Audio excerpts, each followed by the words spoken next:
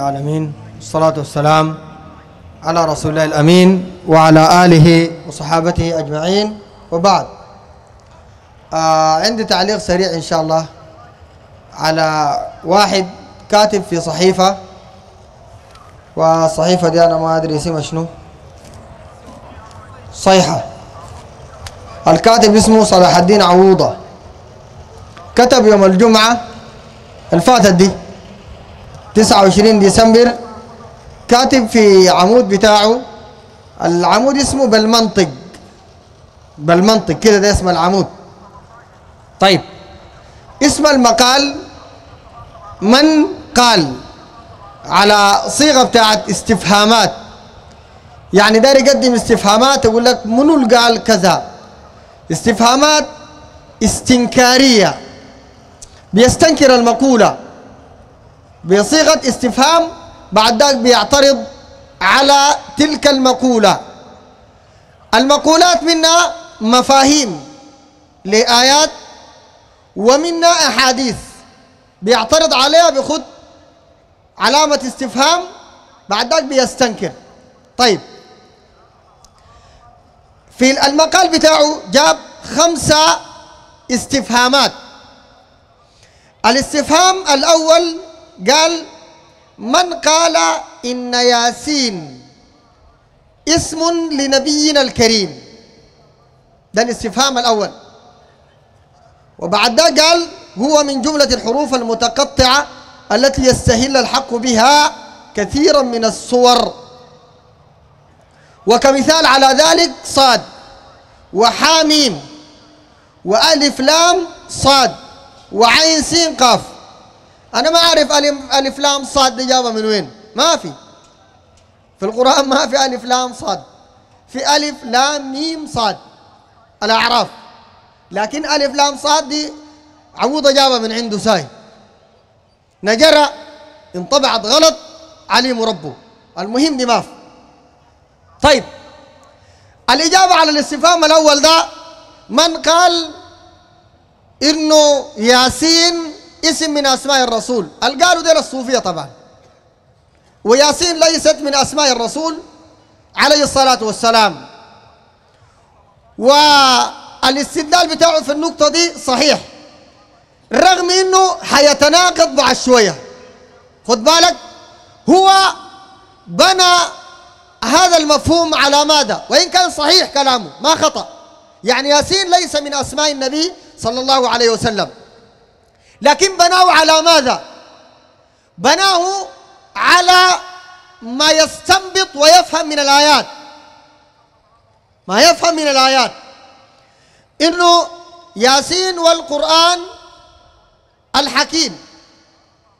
طيب إذا كان يعني مقتضى الخطاب هنا نحن لو أخذنا بظاهر القرآن بظاهر الخطاب ده يبقى ياسين لأنه الخطاب بعد أجل النبي صلى الله عليه وسلم.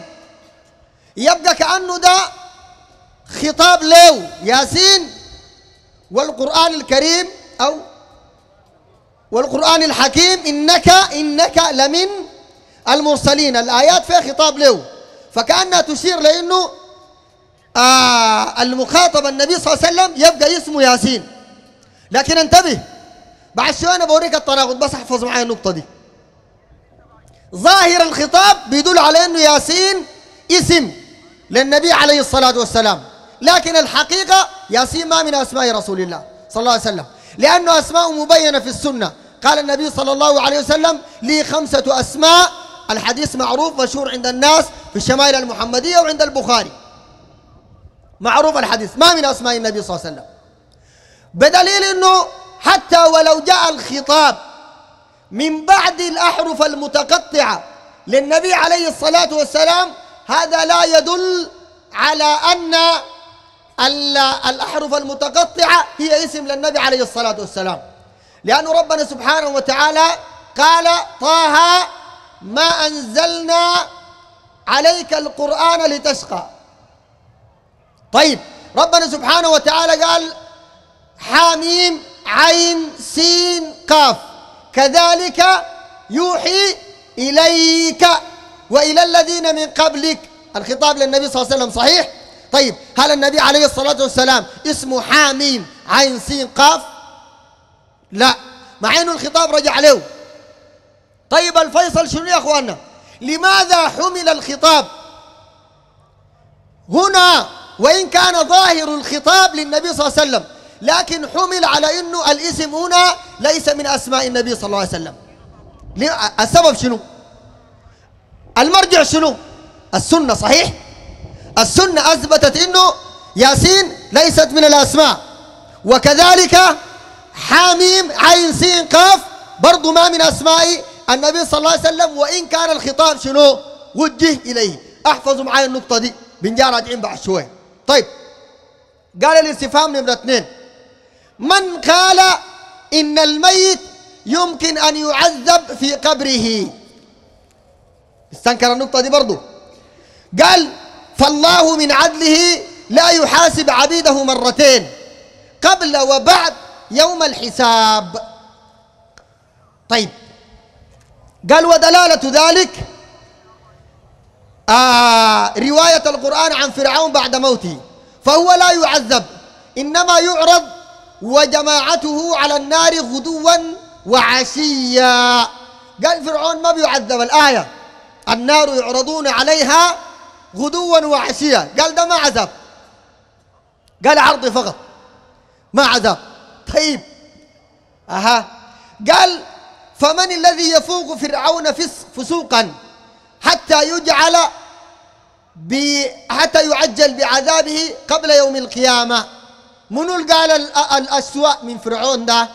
لحد ما يعذبوه في الدنيا أو في البرزخ قبل يوم القيامة. طيب يا عوضة صلاح الدين عوضة ده كاتب في الصيحة وبدي استفهامات على طريقة الترابي. كل الشغل بتاعه ده على طريقة حسن الترابي. نقول أنت ما جيت بجديد. وكونك تنكر عذاب القبر هذا ليس بجديد. أنكره الترابي ومن اللي صدقه إلا الناس اللي معاه أصلا في هذا الفكر. لماذا؟ لأن هذا يعارض صريح القرآن. أولا ربنا سبحانه وتعالى يقول في سورة الأنعام ومن قال ومن ومن أضل؟ قال سبحانه وتعالى ولو ترى إذ الظالمون في غمرات الموت انتبه معي إلى الآية الظالمين دل اللي ربنا بيتكلم عنهم في وقت من الأوقات. انتبه إلى الآية في غمرات الموت والملائكة باسطوا أيديهم. باسطوا أيديهم يعني شنو؟ يعني شنو؟ لئن بسطت إلي يدك لتقتلني. ما أنا بباسط يدي إليك لأقتلك الزول بيبسط يده معناه بالعذاب. باسط يده بالعذاب. طيب ولو ترى إذ الظالمون وإذ هنا تفيد التوقيت الحالي لهذا المشهد. يعني في الوقت اللي فيه الظالمون في غمرات الموت والملائكة باسطوا أيديهم. أخرجوا أنفسكم. انتبه للبعدية اليوم اليوم ده بتين ده يوم القيامة ولا ده يوم موتهم؟ يوم موتهم. اليوم تجزون عذاب الهون بما كنتم تقولون على الله غير الحق وبما كنتم تفسقون. اليوم دبتين ده يوم الموت. يعذب كده موضوعك انتهى. يا عوضة ولا لسه؟ عوضة بيقول إنه من عدل الله. قال فالله من عدله لا يحاسب عبيده مرتين. بالله يا عوضة انت القرآن ما قريته؟ القرآن أصلا ما قريته انت؟ طيب ربنا قال في سورة التوبة وممن حولكم من الأعراب منافقون ومن أهل المدينة مرضوا على النفاق. لا تعلمهم. نحن نعلمهم. سنعذبهم. ها. يا عوض أنت ما قريت قرآن؟ أنت بتتفلسف ساي؟ تكتب في الجريدة؟ سنعذبهم شنو؟ مرتين. ثم يردون إلى عذاب عظيم. المفسرون ذاته قالوا المرتين ديل ديل قبل يوم القيامة. أهي عبوضة لأنه ربنا قال سنعذبهم شنو؟ مرتين وبعدين. ثم ثم دي تفيد الترتيب مع التراخي وتفيد المغايرة. يعني المرتين دي البراهن سنعذبهم مرتين ثم بعدين. يردون إلى عذاب عظيم. بعدين ده. كده كم عذاب؟ ثلاثة. ثلاثة. مرتين الأول في الدنيا في الدنيا دي قبل ما يموتوا. ربنا سبحانه وتعالى قال في سورة التوبة فلا تعجبك أموالهم ولا أولادهم إنما يريد الله شنو؟ ليعذبهم بها. وين؟ في الدنيا. ها في عذاب؟ في الدنيا. لمنو؟ للمنافقين. بيعذبون بشنو؟ بأموالهم وأولادهم. أنت عارف مالك ده ممكن يبقى لك عذاب؟ واحد تلقى عنده قروش كثيرة يقول لك والله يا مولانا نحن ما بننوم بالليل. ما بنوم كله كله. وتلقى الجماعة العتالة اللي بيرفعوا له في في المواد التومينية بتاعت بقالات وشركات وكده العتالي بيرفع وبيرقد في الظل بتاع العربية بنوم للصباح. وذاك تلقى بيعد في القروش ويصحى بيجاي والنوم غالبه. ربنا قال يعذبهم بها في الحياة الدنيا. في الدنيا دي تتعذب بها وبعدين عندهم عذاب براو. يعود انت ما قريت قرآن يا أخي. ده بتاع جريدة ساي. بتاع جريدة. عمود في جريدة. داري يتفلسف في الدين. قال ربنا ما بعذبهم مرتين. الله قال لك بعذبهم مرتين. والثالثة يوم القيامة. طيب. نمشي سريع. ثلاثة.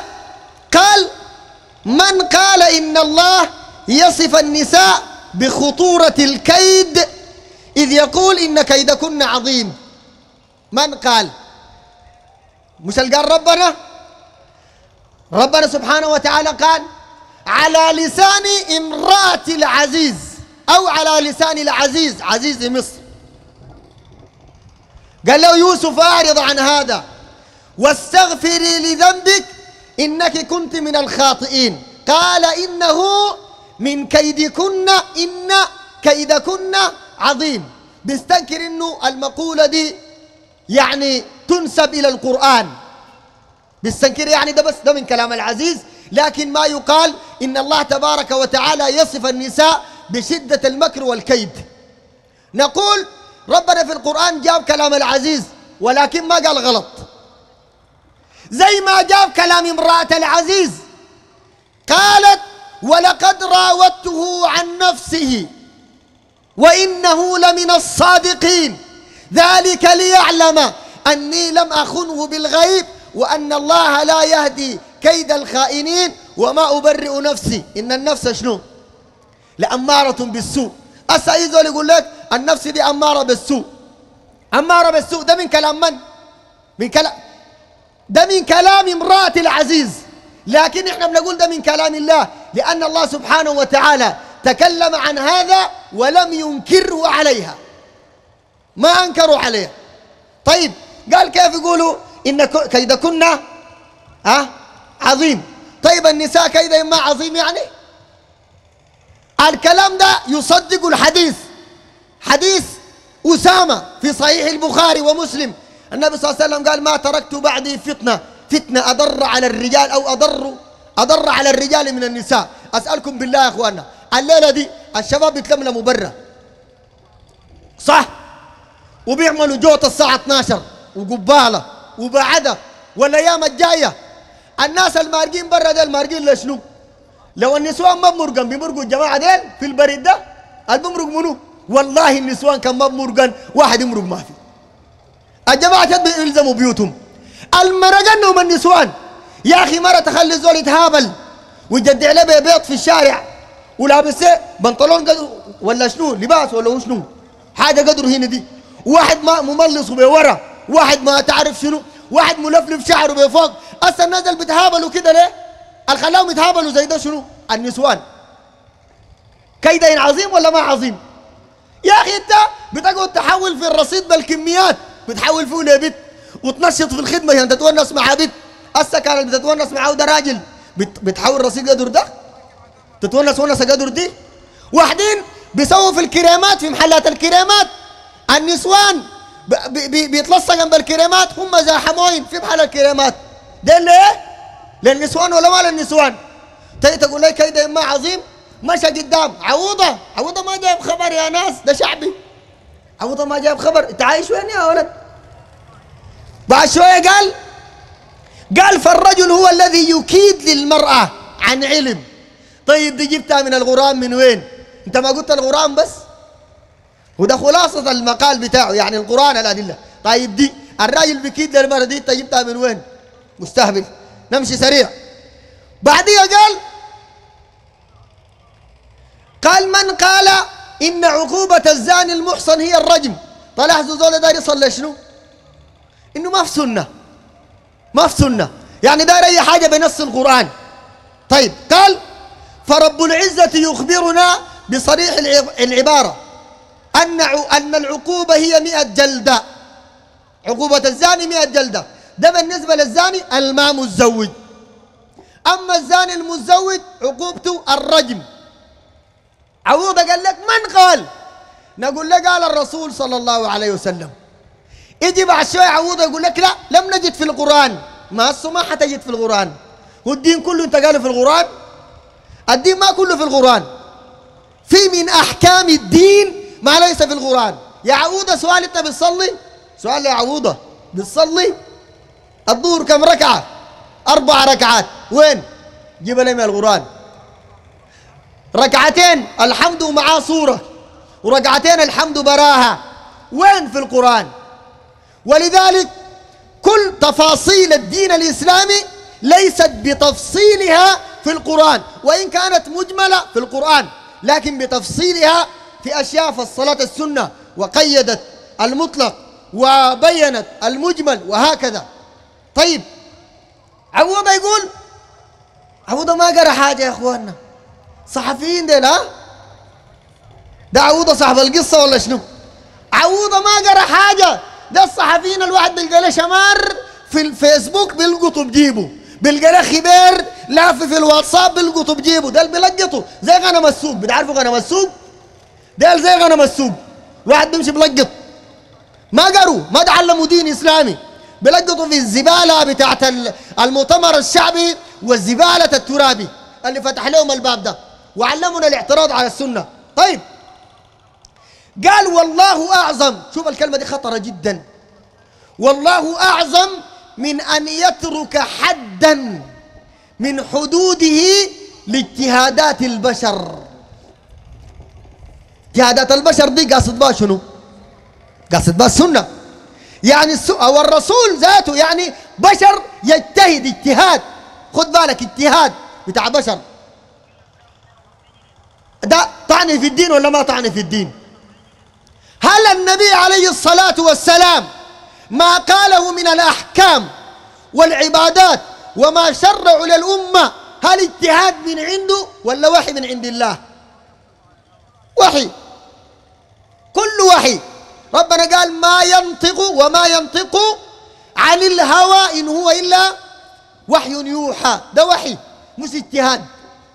قال ده اجتهاد. انت عارف افرض سلمنا جدلا معك يا عوضة. عوضه صلاح الدين عوضه. سلمنا معك جدلا. إنه الحكم الشرعي اللي قالوا النبي صلى الله عليه وسلم اجتهاد طيب نحن عندنا بيجاي اجتهاد بتاع النبي عليه الصلاة والسلام. ده جدلا كده جدلا يا اخوانا مش قال بالمنطق؟ بالمنطق يا عوضة. في اجتهاد بيجاي حق النبي عليه الصلاة والسلام. وفي اجتهاد يا أمة الإسلام بينا بتاع عوضة. تاخذوا حق منو؟ تاخذ عوضة؟ إحنا الله رسل لنا عوضة؟ يا ناس الله رسل لنا نبي كريم اسمه محمد بن عبد الله بن عبد المطلب بن هاشم. لا عوضة ولا الترابي ولا سوداني ولا جا السودان ذاته.